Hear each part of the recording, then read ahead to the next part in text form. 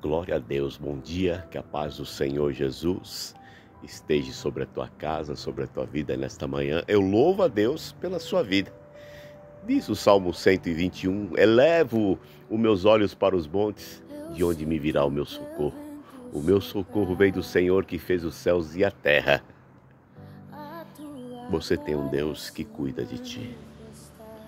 Talvez você possa estar passando pelo vale, o Senhor Jesus é contigo.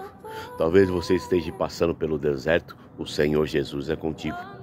Muitas vezes o Senhor trabalha em silêncio. Deus não está me vendo, Deus não está falando, Deus não está trabalhando na minha vida, Deus está trabalhando muitas vezes em silêncio. Aguenta firme que o Senhor Deus vai te dar vitória.